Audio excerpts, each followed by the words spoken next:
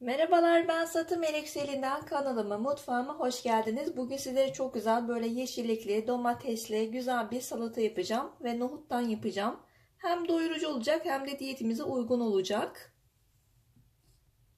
Burada biraz fazla var. Bunun hepsini kullanmayacağım. Ben fazladan kaynattım. Birazcık buzluğuma atacağım. Akşamdan soğuk suya ıslıyorum ve gündüz pişiriyorum. Isladığınız zaman çok çabuk bir şekilde pişiyor. Eğer nohutunuzun cinsinden hani kaynatıyorsunuz kaynatıyorsunuz ama yumuşamıyorsa birazcık karbonat atarsanız böyle yumuşacık olacaktır. Gördüğünüz gibi benimki çok güzel bir şekilde pişti. Şimdi salatamın yapımına geçiyorum. İlk önce nohutumu ayırayım.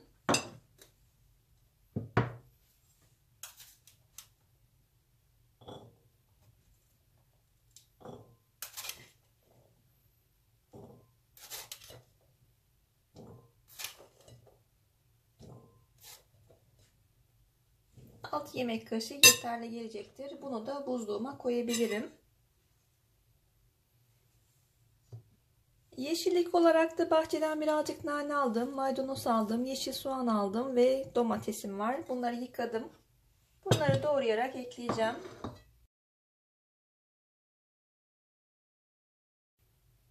Şöyle nane yapraklarımı temizliyorum.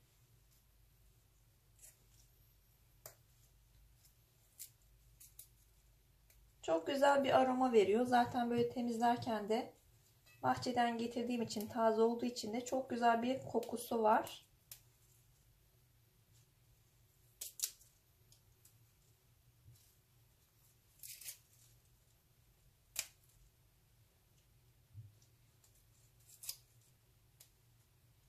Küçük küçük doğrayalım.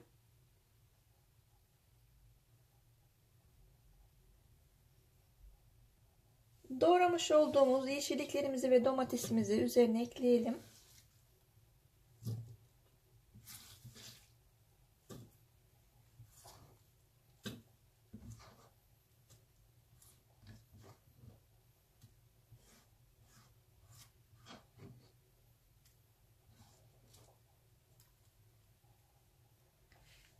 Üzerine birazcık limon sıkıyorum.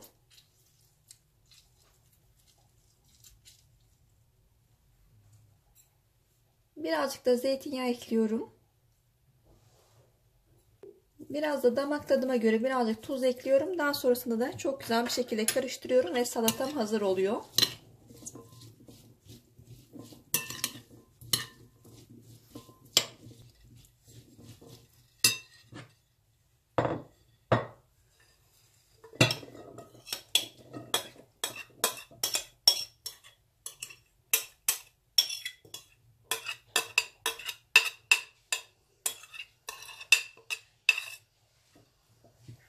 Hem çok lezzetli hem doyurucu hem de diyetimize uygun oluyor.